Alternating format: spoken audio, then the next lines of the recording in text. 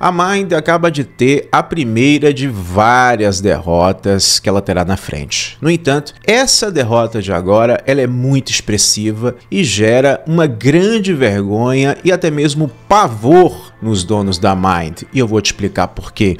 Nesse momento, Preta Gil e Fátima Pissarra devem estar chorando de cócoras no banheiro, porque essa derrota de agora mostrou que podemos ter esperança que o Brasil ainda pode dar certo. E existem outras coisas relacionadas à Mind que eu vou falar aqui para vocês, não tudo nesse vídeo, tá? Mas no decorrer da semana eu vou soltar algumas coisas aí. Por isso que eu disse que é a primeira de várias derrotas que estão vindo pela frente.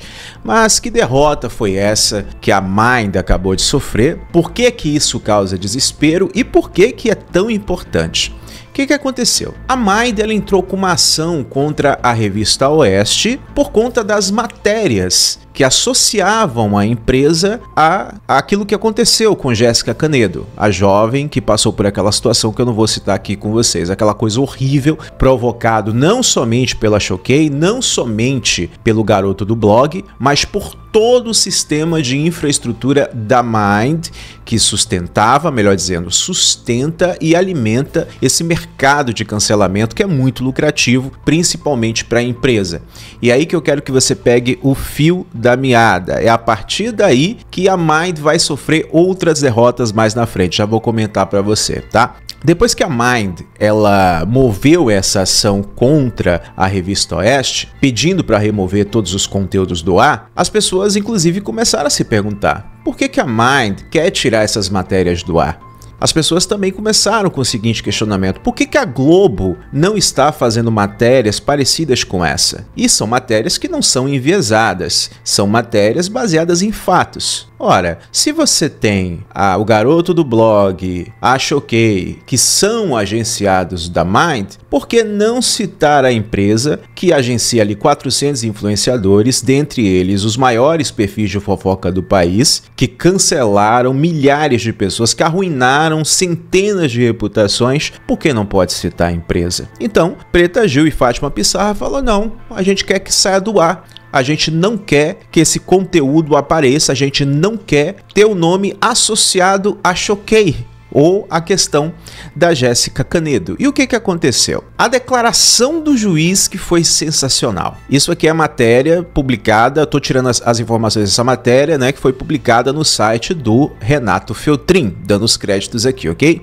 Abro aspas para a fala do juiz. Assim entendo que, ao menos nessa fase de cognição sumária, a remoção dos conteúdos publicados em referidos perfis poderia configurar censura censura velada pela Constituição Federal no artigo 22, inciso 2. Ademais, o sistema judiciário disponibiliza aos autores o direito de resposta, por meio do qual poderão comprovar serem inverídicas as alegações e buscar as indenizações cabíveis.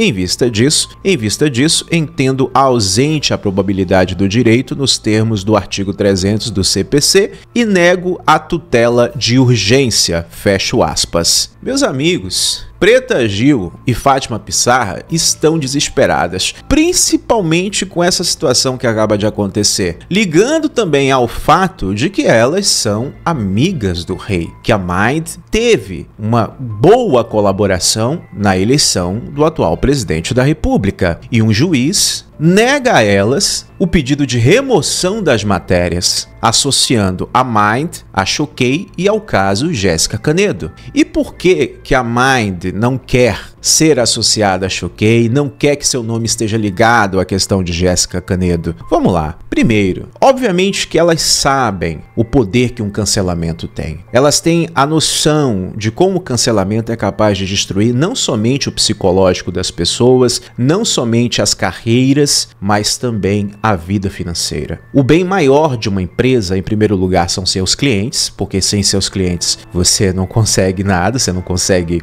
produzir nada, você não consegue levantar dinheiro algum. E em segundo, né, os funcionários. E o terceiro, o seu patrimônio seu capital de giro. É isso que é de extrema importância. E a Mind, ela está perdendo dois desses três pilares importantes para qualquer empresa. Alguns clientes já devem ter comentado: olha, nós não queremos ter nosso nome vinculado a uma empresa que, conforme foi revelado agora pelos fatos, ganha muito dinheiro com a desgraça alheia. Então, se vocês se queimarem, nós estivermos associados a vocês, nós vamos nos queimar também. Agora, olha que delícia, né? Os perfis agenciados pela Mind fez várias pessoas passarem exatamente pelo que elas estão começando a passar agora: perder patrocínio, perder contratos. E aí vem o terceiro ponto que é a perda do dinheiro. Você perdendo cliente, você obviamente vai perder dinheiro. E por que, que eu não citei o segundo ponto aqui? Porque eu falei de três pilares. O maior bem que uma empresa pode ter, em primeiro lugar, são seus clientes, em segundo lugar, os seus funcionários, em terceiro lugar, o seu capital de giro, o seu patrimônio financeiro. São três pilares, né? É como um banquinho de três pernas. Se um desses banquinhos, se uma dessas pernas quebrar, o banquinho não tem como se manter de pé. E foi justamente por não ter cuidado com seus funcionários, podemos dizer assim, é que a empresa se desestabilizou. E a demonstração da Mind de não querer ter seu nome associado a um perfil de fofoca que ela agenciou durante anos,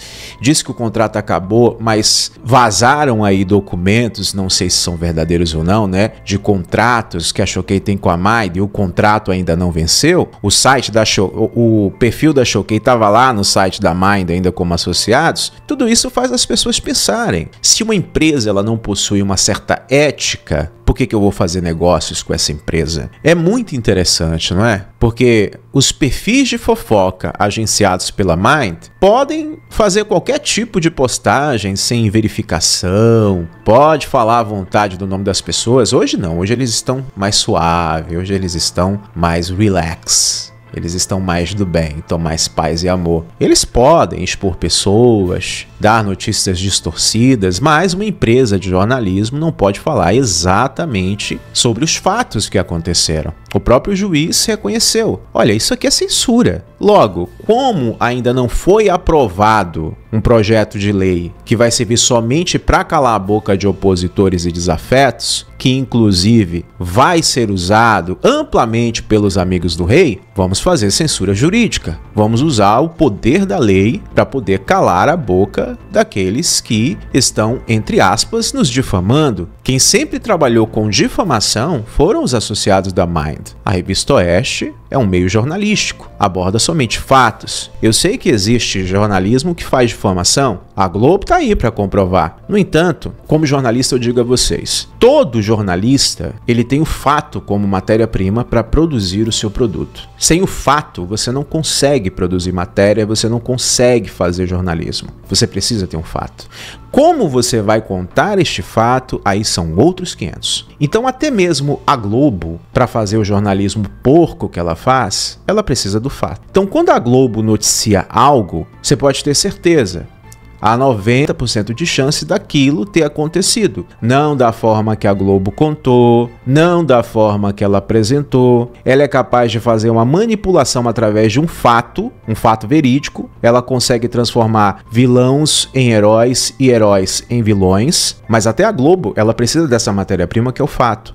Perceba que a Globo, ela praticamente não falou desse caso da Choquei, da Mind, Garoto do Blog, Jéssica Canedo, quase não falou. Por quê? Porque os fatos, eles se impõem, a realidade ela se impõe. A Globo não poderia usar a sua própria matéria-prima, mesmo para fazer matérias distorcidas, para poder defender a Mind. Não tinha como. A única matéria que ela fez foi defendendo a Mind, só foi noticiar um fato que, segundo a Fátima Pissarra estava acontecendo, alegando que ela estava recebendo ameaças. E se isso de fato aconteceu, ela tem que denunciar e as pessoas que fizeram isso precisam responder por esses atos. Agora, parem para pensar comigo.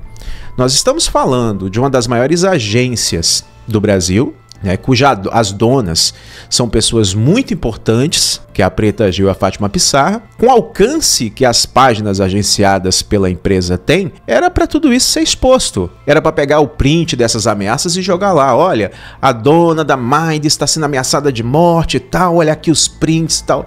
Isso deveria ser feito. E aqui eu não estou dizendo que ela não recebeu ameaça, eu só estou dizendo que ela deveria fazer isso. Falar que está sendo ameaçada Beleza, mas eu acho interessante a Fátima expor isso para todo mundo, já que os perfis que ela agencia sempre postaram prints, conversas vazadas, essas coisas, ela tinha que expor isso ao público. Porque isso de fato é sério. Expor print de conversa íntima que, que vazou de um artista famoso, isso não é tão importante quanto postar um print de alguém que está ameaçando uma das maiores marqueteiras do Brasil. Isso precisa ser exposto. E a revista Oeste, com todo o defeito que você possa achar que ela tem, ela trabalha fazendo jornalismo de verdade. Por que, que eu digo isso? Você pode até achar que a, a, revista Oeste é coisa de bolsonarista e tal, mas eu discordo de você. Muitos bolsonaristas seguem a, a, e assinam a revista Oeste porque os colunistas, né, muitos colunistas que tem na revista Oeste têm uma visão ideológica muito bem definida. Mas a revista Oeste, ela não é um, jornalismo manipulador como é da Globo. Eu discordo de muita coisa que eu leio lá. Discordo de muita coisa que é dita pelos colunistas. Agora, o meio de comunicação chamado revista Revista Oeste é um meio de,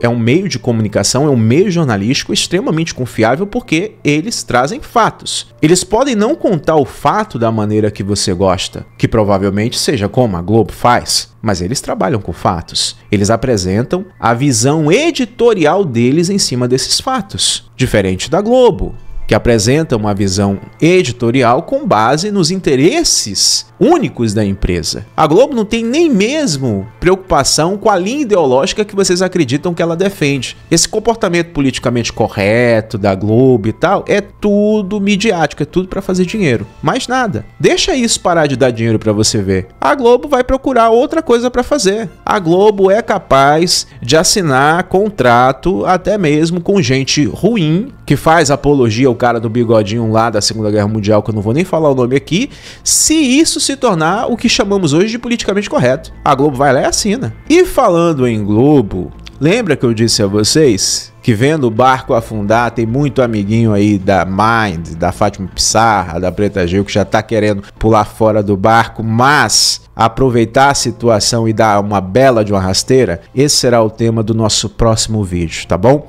E se você não quiser perder, verifique seu sino de notificação e eu tô esperando você no nosso próximo encontro.